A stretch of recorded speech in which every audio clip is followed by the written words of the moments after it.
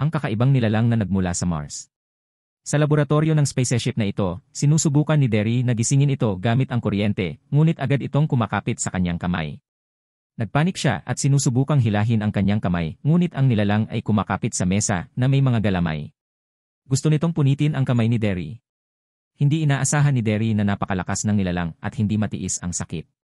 Nang ilabas ni Derry ang kamay niya, ay nabali ang mga buto sa loob nito at nawala ng malay sa sakit.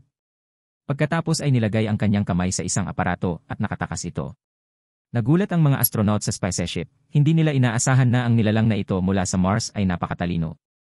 Pagkatapos ay pumasok ito sa isa pang kahon na may isang daga sa loob.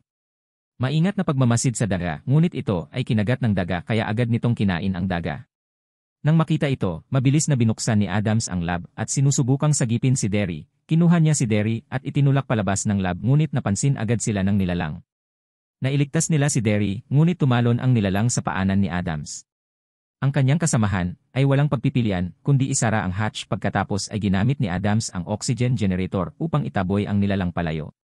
Pagkatapos nun, kumuha siya ng flamethrower para atakehin ang nilalang pero ang nilalang ay magaling umiwas. Naubusan ng gasolina ang flamethrower, at napagtanto ng nilalang na hindi nabanta dito si Adams, kaya dumiretso ito sa mukha ni Adan pagkatapos ay gumapang ito sa bibig at agad na nasira ang kanyang mga panloob na organo. Si Adams ay pinatay at ang kanyang katawan ay walang laman sa loob. Nang lumabas ang nilalang sa bibig ni Adan ay mas lumaki ito. Pagkatapos ay pumasok ito sa vent at agad sinara ng mga astronauts ang mga vent. Ngunit napakatalino nito, mabilis siyang nakapasok sa huling vent bago ito masara at matagumpay siyang nakatakas sa lab. At ngayon, maari itong lumitaw kahit saan sa spaceship. Kasalukuyang inaayos ng isang astronaut ang cooling system sa labas ng spaceship. Binuksan niya ang takip ng mga kagamitan at laking gulat niya nang biglang gumapang ang nilalang mula sa loob. Gumagapang ito tulad ng isang pugita sa suit. Dumikit ito sa kanyang paa.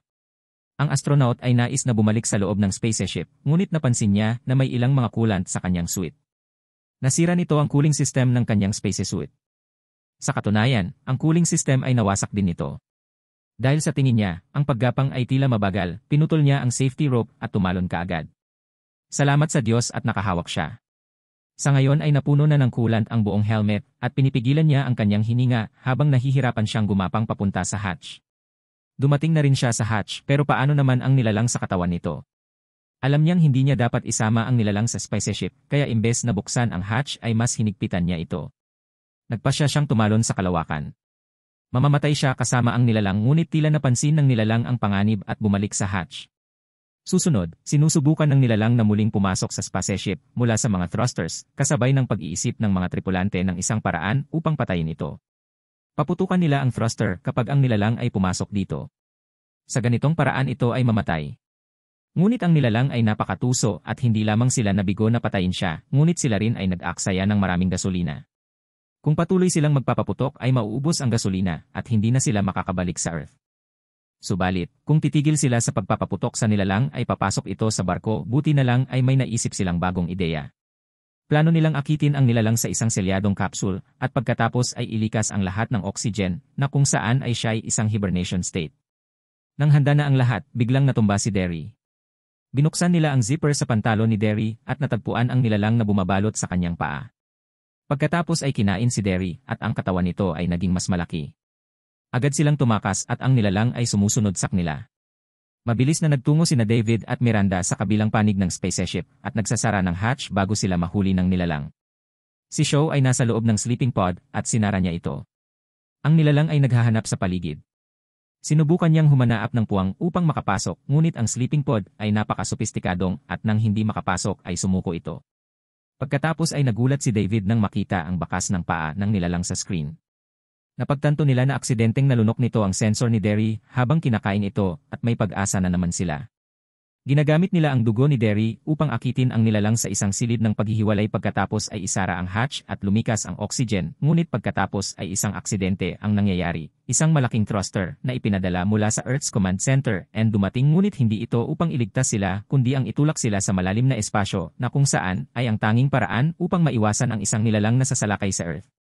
Pero hindi alam ni Show ang sitwasyon at sa tingin niya ay dumating na ang pagsagip kaya lumabas siya sa sleeping pod at pagkatapos ay binuksan ang hatch na naglock sa nilalang.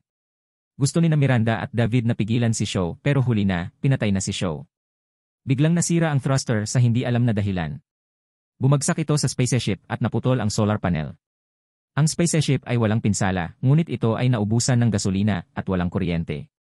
Ito ay bumabagsak sa Earth. Kailangang maghanap ng paraan ang dalawa para mapigilan ang paglapag ng nilalang sa Earth. May naisip na plano si David. Bawat isa ay pumapasok sa isang escape pod. Gumagamit si David ng oxygen generator upang akitin ang nilalang sa kanyang escape pod pagkatapos ay inilunsad ito sa malalim na espasyo kung saan siya ay mamamatay kasama ang nilalang. Sa kabilang panig, si Miranda ay bumabalik sa Earth na may data sa isa pang escape pod. Sa una, maayos ang plano ngunit minamaliit nila ang katalinuhan ng nilalang. Kaya nitong kontrolin si David at binabago ang direksyon patungo sa Earth. Sa kabilang banda, ang escape pod ni Miranda ay nagbabago ng direksyon dahil sa pagtama sa mga debris mula sa kalawakan at ito ay patungo sa malalim na espasyo. Ang escape pod ni David ay naglalakbay at sa wakas ay nakalapag sa ibabaw ng dagat. Natuklasan ng dalawang mangingisda ang escape pod at dahil sa kuryosidad ay pumupunta sila para tingnan ito. Sa loob ay katawan ni David na nililibutan ng mga galamay. Nakikiusap si David sa kanila na huwag buksan ang hatch, ngunit hindi siya maintindahan ng dalawang mangingisda kaya binubuksan nila ang hatch. Susunod na ang isang kalamidad na hindi maiiwasan.